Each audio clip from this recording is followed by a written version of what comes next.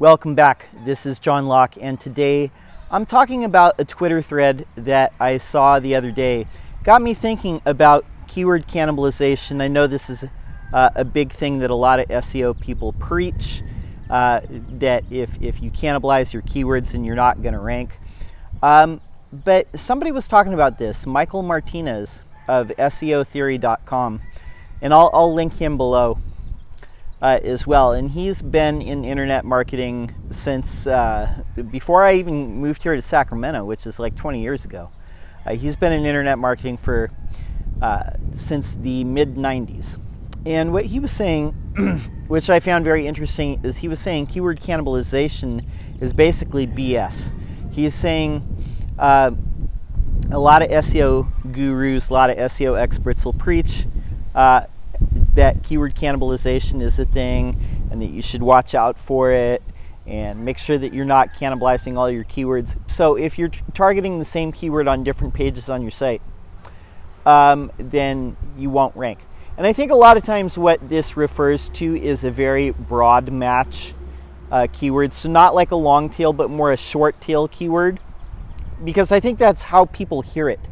When people talk about keyword cannibalization, they're not talking about long tail uh, keywords like how to fix a you know carburetor in this type of car, but they're just thinking like uh, carburetor you know for this type of car.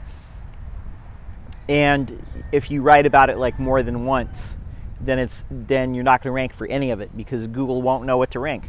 The fact of the matter is, and I agree with what Michael says, if uh, you're matching the searcher intent, the actual searcher intent uh, of that phrase, what Google has, has figured out uh, that the majority of the people want to find when they Google that uh, search phrase, then you, you can definitely hit it with more than once. And I'll give you an example of, of something right now, right now, right today. I'm doing an SEO audit uh, for a new client. And one of the keywords that they put in their um, list that I'm looking at, a competitor is targeting that keyword. Now, I think, and, and, and I do believe that this client uh, believes that this is a sales page keyword, like an e commerce keyword. They're going to sell something uh, with this keyword. But interestingly enough, this keyword turns out one of the competitors, or a one site, they have two articles, two different articles that have that keyword in the title uh, that match the searcher intent of that keyword, which I'm looking at, which surprised even me. It's actually uh, the, the intention of this keyword is instructional, uh, like how to use a tutorial. Here's like, you know, everything you need to do, and not like a sales page.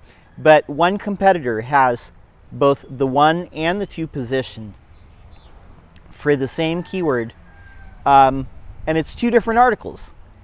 But when I look at it, it matches the same searcher intent.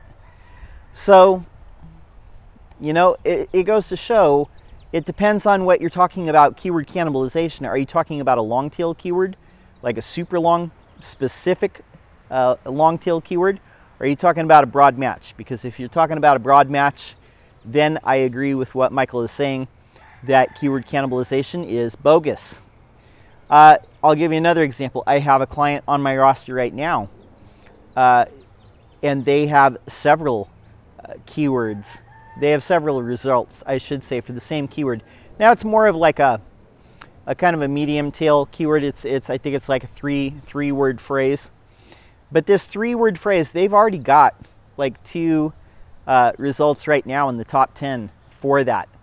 Uh, so it, it's telling me that, that keyword cannibalization only is a thing if you're targeting like um, very super, super specific phrases, you know, like six, seven, eight word key keyword phrases. But if you're just talking like one one word, two word, three word uh, phrases, then keyword cannibalization is not a thing. I know I had a friend ask about this very recently, talking about software development, and they were worried about keyword cannibalization because they wanted to rank for this, you know, phrase uh, but you know, I and I told that person then, you know, if you make each um, article uh, that you're writing about about a specific thing, solving a very specific problem with that software, then keyword cannibalization is not going to be a thing. Um, so keep that in mind. When people talk about keyword cannibalization, really do keep it in mind that if you're talking like, you know, shorter tail, um, more broad match keywords, keyword cannibalization is probably not even a thing that comes up. Because look at the actual search results and you will see that Google actually has a pattern. Uh, and it determines like, hey, the majority of the people are actually looking for this.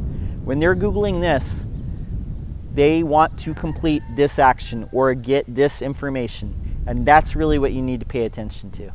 Uh, my name is John Locke. My business is Lockedown Design and SEO. I'm here publishing videos every single day, uh, SEO for industrial and manufacturing companies. And uh, I would love to see you subscribe. That's all I've got for this video. Until next time, peace.